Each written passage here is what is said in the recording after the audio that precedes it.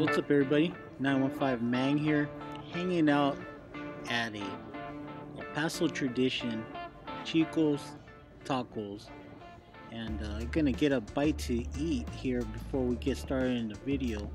If you've ever been in the 915, make sure you swing by, get yourself some Chicos, by you and your date. $20, real good. Might have to use the restroom afterwards. So let's get into the unboxing that I have here. I got a package from Reef Breeders, reefbreeders.com, and uh, I got a hat. Very nice hat. I'm going to be representing this. I have uh, LEDs from Reef Breeders. I have actually two, the Photon version 2, the 50 inch, and I have the 24 inch. And uh, I'm going to be sporting this hat around. Um, what did I order? Well, I ordered the dosing bundle. Um, it came with the Coral Box Wi-Fi doser, and it also came with the cor- the uh, containers, and then the probe holders for like your lines from the doser. Uh, this is all Coral Box, and uh, it's pretty nice, nice stuff. Uh, the why did I get it online? I got it from Logan due to the fact that he actually comes with a warranty. You can buy them on uh, Amazon or eBay or some other site, but it's probably not going to have a warranty. Um, and the customer support is pretty good. You shoot him an email, you and you can see on the forums that he'll answer you back. So if you want to contact, you need to get in touch with them. Go ahead and take a look at this business card. You'll see Logan, the owner, Logan at Reef Breeders, and uh, you can hit him up. So, anyways, I picked up the Wi-Fi dosing pump. Uh, I like this because it's small footprint that it has. I'm going to be using this under my 150 gallon reef tank. Just showing you a little bit of something, uh, what it looks like, and um, and you can see that it comes with the mounting. Tells you which way your uh, heads turn and all that. Small footprint, something to measure the uh, dose with, and uh, this whole package wasn't too bad. It was a total of $219 and uh, it comes with a six month warranty. So if anything happens, as far as uh, defect, six months you're covered. Um, the lights, still, however, do come with 24 months, so that's something to think about. Uh, packaging real nice. I'm going to be using these this container, and I'm also going to be using the Aquamax container um, because I'm going to have doser set up on my frag tank. And I'm going to have a doser set up on my 150 gallon. I'm thinking about this one either in my 150 or my frag tank. I don't know yet. The dosers I'm going to use for the frag tank cover is going to be a Jebao uh, doser. And um, I'm going to use that on the frag tank just mainly to dose, keep things in check, and um, mainly dose vinegar. The alkalinity and calcium, I don't foresee that really going too much up and down on the frag tank.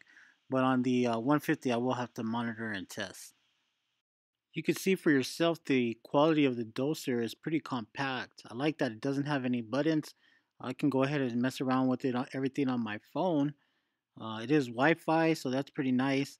Um, I have the Coral Box Nano Light, and that thing is pretty legit. So I was expecting something high quality, uh, not like the good old cheap days of where everything was all cheap and junky. The acrylic work came out pretty nice, and everything was included, unlike the uh, Jebao doser that I did get. Um, the original Jebao doser, it did come with like an extra head, but like the tubing and things like that weren't uh, included. And this is everything uh, included, so that's pretty nice. I will give you a review on it later on, see if I like it, if I recommend it. So far, I'm happy with how it is. It doesn't feel cheap at all. Uh, pretty easy. Looks like to set up. Just push it in, snap it, and go from there. I'll let you guys know the truth if it sucks or not, or how it's been performing in a later video. What kind of doser are you guys using? Are you guys just doing water changes, manually dosing? Uh, let me know in the comments below. I do want to show you my tanks on Tanks and Tanks. I have a 20 gallon tall, I have a 10 gallon sump inside of that, and I still have my 12 gallon long from Aquamax. I was thinking about taking this to work or something, but you know what? I, i rather just keep it simple here at the house. I think this would be an awesome tank. 20 gallon tall, and then I have a 10 gallon sump that I made. I'm going to go ahead and show you what I'm going to do, what I'm planning on doing here in a minute. But I am for sure going to be using my Reef Breeders Photon, the 24 inch, and I'm still thinking about using some uh, T5 in, with this system or not. But I'll let you guys know here in a second. So I basically got some frags together. I did a uh, little frag pack here. I'm going to turn on the blues so you can check it out with my flashlight and see some of the different colors. I try to get some nice frags of Palys and Zoas because that's mainly what I do, what I, uh, that's my thing, right? So what I'm going to do is get a whole bunch of these, put them together, and I'm going to take a little road trip. I'm going to take a road trip to uh, New Mexico. I'm going to head out and see my buddy Matt from uh, Las Cruces, New Mexico, which is a little bit away from me, a good uh, hour drive, but it's going to be well worth it. And we're going to go check out um, a special project that I had him working on. Uh, ended up asking him, hey man, how much will it cost me to get a frag tank? Matt, being a typical reefer, he said, well, it wouldn't be that much, but why don't we just trade frags? And so that's what I did. Got a bunch of frags, and we're gonna go hang out with Matt for a little bit. It's bad. Looks awesome. Man, I was gonna step up my frag game. Yeah, right the best thing about it is how clear it is. Ooh. I mean, it's unbelievably clear. It's crazy. You wouldn't even be able to tell. Like glass. Yeah. It's a little better. It's, right? Yeah, it's optically clearer than glass.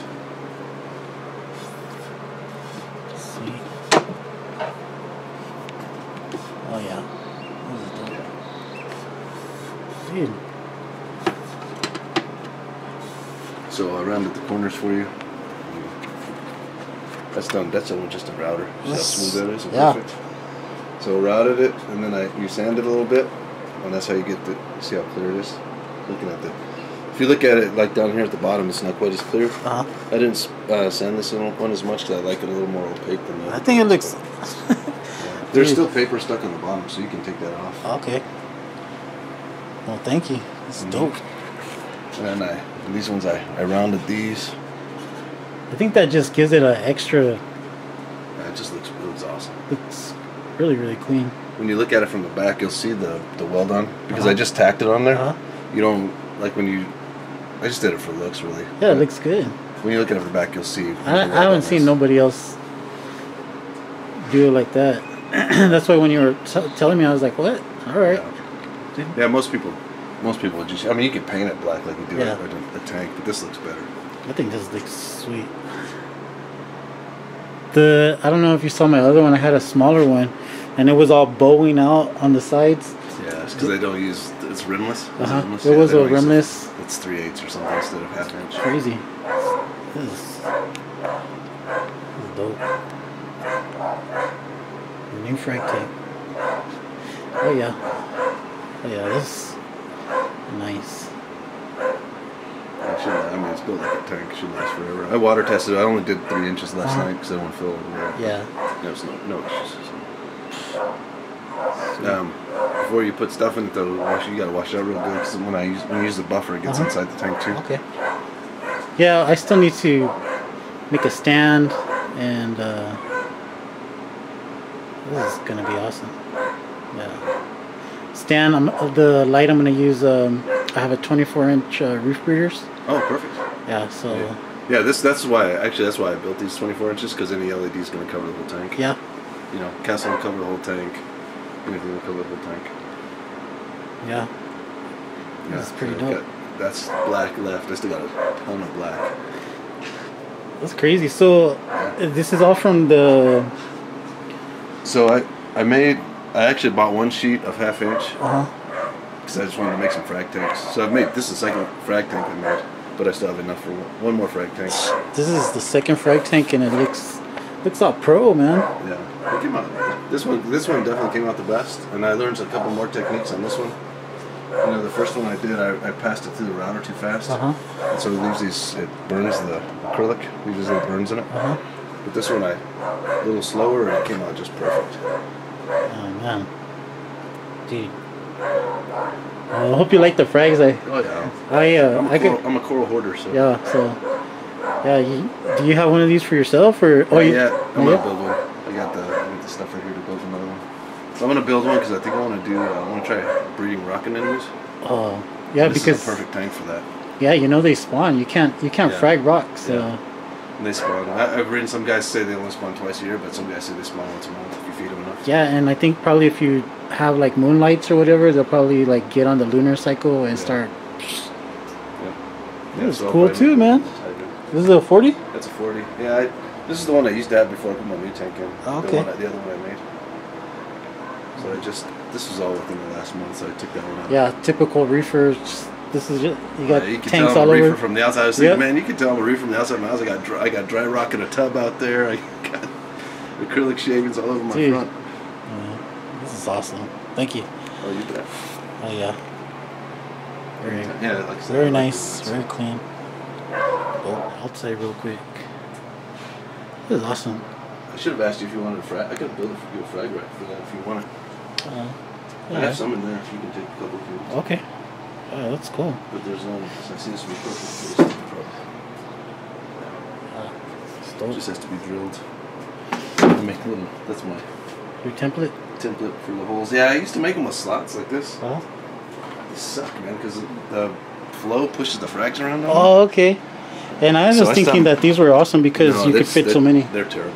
So, Unless you, I mean, you can pack them in real close if you're doing just Zoas probably. Uh-huh. But if you have SPS and all that stuff, you can't. They sting each other. So oh, okay.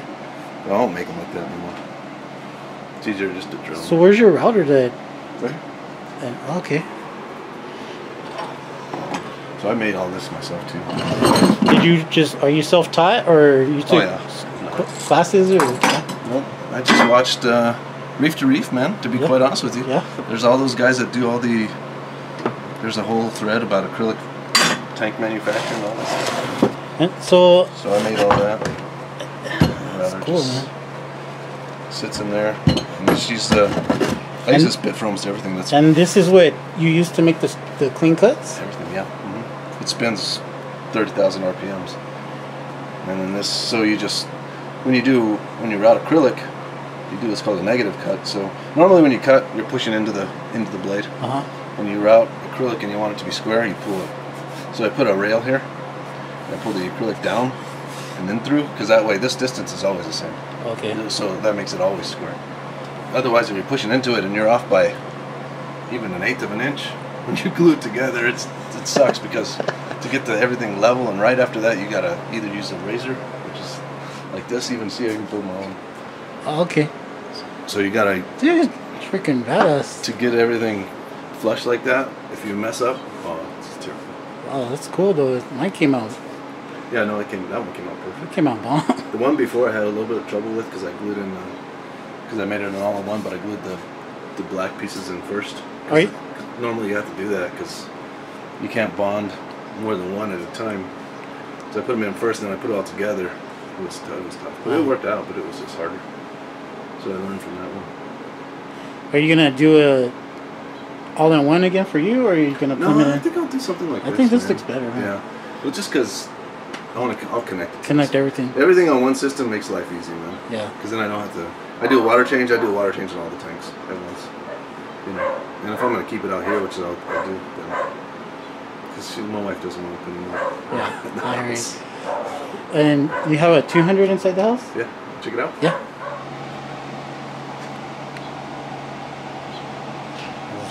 Nice. Yeah, if you ever want to start doing acrylic or whatever, I can Yeah. Um. learn how to do it. It, It's not that it looks interesting. I mean, It's not that expensive to get started. I mean, the router's hundred bucks. that. You know, a piece of MDF to make a table is twenty bucks. this is sweet. I And use MDF because the stuff is perfectly flat. yeah, and it's not gonna. It's, you don't have to worry about water. And then you can make this out of. I should probably make. I'll make another plate eventually out of acrylic because it'll be a little truer than this.